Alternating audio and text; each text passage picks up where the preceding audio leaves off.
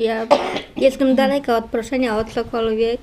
Zgodziłam się i to, co otrzymałam w zeszłym roku, pomoc e, ze strony właśnie e, szlachetnej paczki, to przerosło moje najśmielsze oczekiwania. Daniela była jedną z osób, które rok temu obdarowano w ramach szlachetnej paczki, a dostała wymarzony od lat prezent remont łazienki. Miałam wannę, nie miałam pomocy, żeby po prostu się wykąpać sama.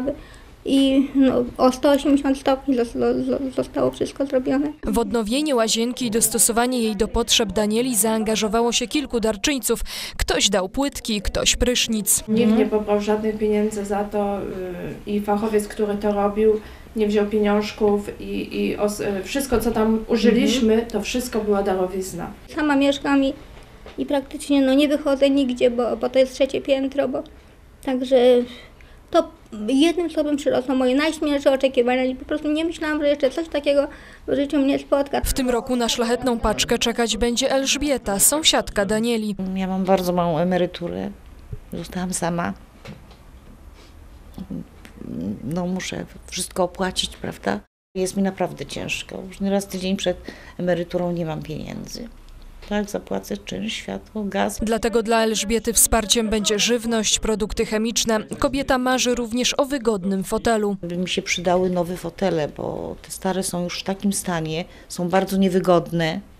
Boli kręgosłup. Ideą szlachetnej paczki jest indywidualne podejście do potrzeb i marzeń osób znajdujących się w trudnej sytuacji materialnej. Dzięki tej paczce rodzina ma poczuć, że nie jest sama ze swoimi problemami, że ktoś o niej myśli i poprzez tą paczkę jest wyrażane to, że e, inni ludzie wierzą w tą rodzinę i chcą, żeby ona się zmieniła. Rodziny najczęściej zgłaszają, że potrzebują żywności, odzieży, środków czystości czy obuwia. Ze względu na zimę również często jest podawany opał, e, jak również e, sprzęty na przykład jak kuchenka gazowa, lodówka, pralka.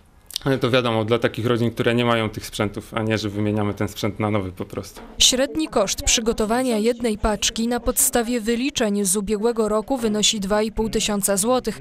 Dlatego jedną paczkę przygotowuje najczęściej grupa osób, często nawet szkoły czy firmy. Już w sobotę, 19 listopada na stronie internetowej szlachetnapaczka.pl zostanie umieszczona lista rodzin z Kalisza zakwalifikowanych do akcji wraz z ich potrzebami.